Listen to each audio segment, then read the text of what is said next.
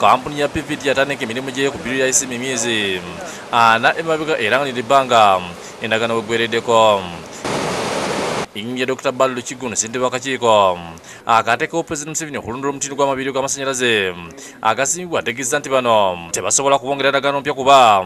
Wadde omulimu gwe bagukozesa bulungi naye waliwo bingi ebirumira nga tebayinza kubeesiga nannyini mulimu mu mateeka alina obuyinza okusalawo nti sijja kwongera mulimu. Siba kulabika bubi nayinza okuba nga alina ensonga ze Ah, oluusi zaba talagadde kwanika. Ategeeza nti omulimu ogusigadde wadde gwa budde butono naye gwe gusinga obunene nga gwetaaga obukugu obumanyirivu obw'enjawulo okusobola okugutuukiriza Eh, projekiti eyo bagimala erina emyaka mingi nnyo kubanga eweereza uganda. Kati tuba tulina okutunula mu biseera eby'omu maaso nti baana bakimaze naye enkola ebaddewo tunalumizibwa tutya? Oba olina okubako sente z'ofulumya mu kukiddaabiriza.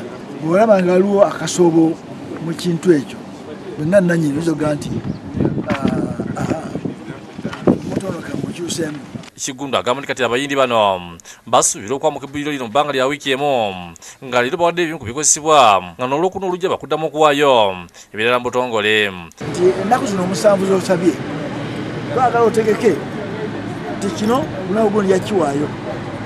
Abantu baffe abajja okusayininga we bali abanakifuna tujje ku lwokuna oluddako nga kawuwo buwuwo ketugenda okugira ki?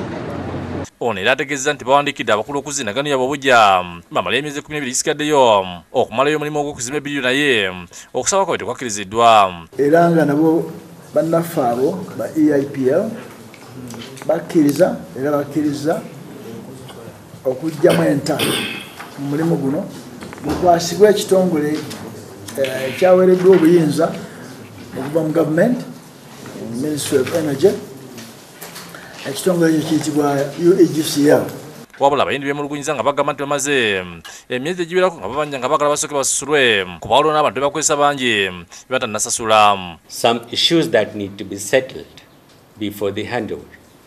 And this is mainly about the payment. So the due payment must be released before we do the official handover. simon kasiyati akulira ebyamawulire mu kitongole ekya uganda electricity generating company ategeeza nti biru ya isima lisuubirwa okufuna obuyi bw'amasannyalaze ga megawatts kikumi kinana mu ssatu naye kati kino eddibiro eryayisimba ne kaluma kubanga sente z'omuwomusolo zigenzeemu ate ne tufuna looni ya pasentegi ntono nnyo kuva mu bakwano baffe ab'e china tusuubira nti ebbeeyi y'amasannyalaze egenda kuka wansi nnyo. Kulaba nti omuntu wa bulijjo naye yeganyirwa mu kino ekintu ky'okwota amasannyalaze ng'omuntu sekinoomu ate n'abama- n'ab'amakolero. Kampuni ya china water and electric corporation kati ekwasiddwa contract y'okumaliriza omulimu gwa isimba damo ng'eyamiwako ekitongole kya uganda electricity generating company limited ne kampuni ya smek international. Okuva mu ggwanga lya australia nga bamaze omwaka gumu nga bekenenya emirimu gy'ebbiri lya isimba ffe twewaddeyo nga ugcl tujja kulaba nti guno omulimu tugukola buli ndaala tuguwe eggwanga lyaffe uganda nga bwe mwatukwasa guno omulimu david sikayombya yakusakidde guli eno ku lwabukedde tv